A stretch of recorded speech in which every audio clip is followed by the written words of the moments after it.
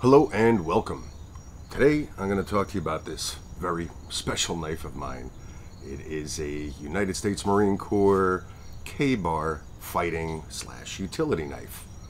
This particular one was presented to me as a gift from a good friend and uh, slash student. Throughout my tour in the United States Marines, I carried a KA-BAR knife exactly like this one. And it served me well all over the world for more uses and applications that I could even name. So as you could imagine, this knife became an extension of me uh, because of so much time that I spent with it. Uh, just like our firearms and anything else that you are issued, it becomes a part of you. And uh, a lot of that is out of necessity that you find out a little bit later down the line. While in the Marines, I was instructed in Marine Corps combatives, and a lot of that has to do with utilizing a fighting knife such as this KA-BAR. So as a teenager in the United States Marine Corps, being exposed to Marine Corps combatives, it really piqued my curiosity. So once I finished my active duty tour, I pursued other instructors, blade instructors, knife instructors, and pretty much anything that I could get my hands on to verse myself and expand on the knowledge that was built upon in the United States Marine Corps. The fact that this knife has the nice long blade ideal for slashing purposes. It also has a great balance on it, so it feels good in your hand. Uh, regardless of what you're doing, it's a very natural movement that you gain, especially once you practice enough uh, with whatever knife you choose. But for this, for my intents and purposes, we are speaking about the KA-BAR.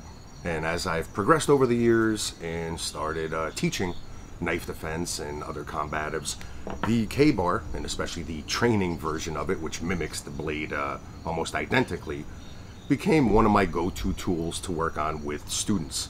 Uh, once again, same application. You got this long lever or long blade, so it allows them to experience uh, the certain nuances that a knife uh, brings to the game, whether it's defensively or whether it's offensively. And especially when students are just starting out and being a bit timid um, especially when they're utilizing a blade or learning the blade, even though they are using a uh, plastic tool, it still brings that feeling of uncertainty into uh, the game or into the training session. And that allows my students to learn the certain nuances of wielding a knife uh, correctly in a self-defense scenario.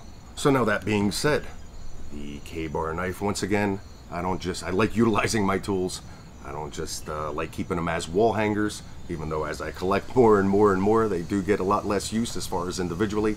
But this is one of those knives, because of the sentimental value, that makes an appearance out in the field with me at least a few times a year. And when I do bring my KA-BAR out in the field with me, I try not to butcher it. I try not to give it uh, too much damage.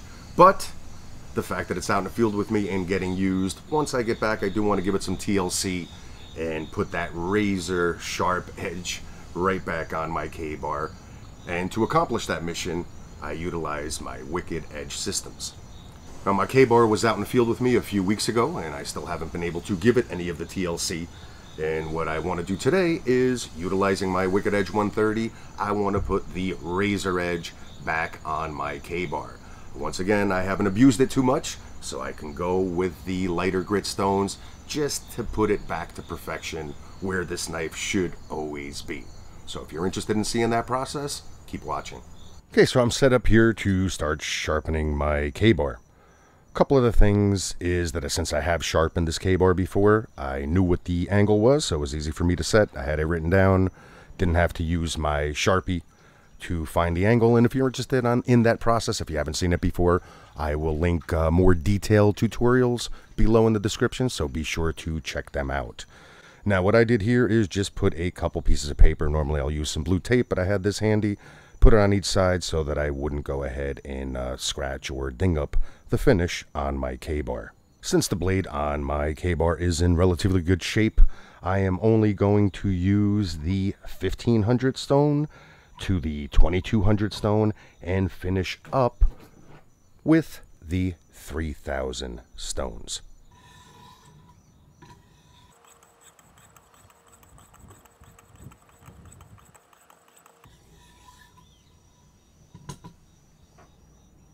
Okay, that's feeling pretty smooth. Already getting that nice sharpness Just bringing this blade a little bit more back to life to its uh, original condition. And now let's move on to the 2200 grit.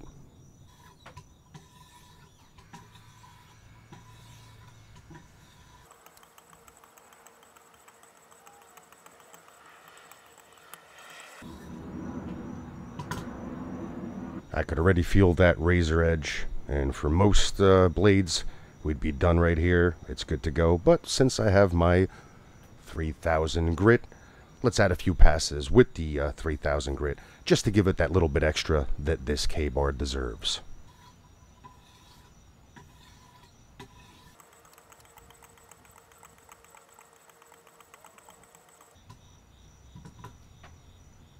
And let's test it out.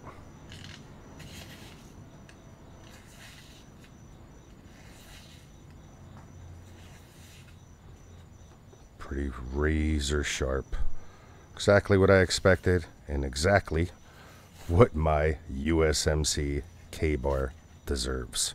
So bottom line, if you want a wicked edge on any of your blades, definitely check out these wicked edge knife sharpening systems.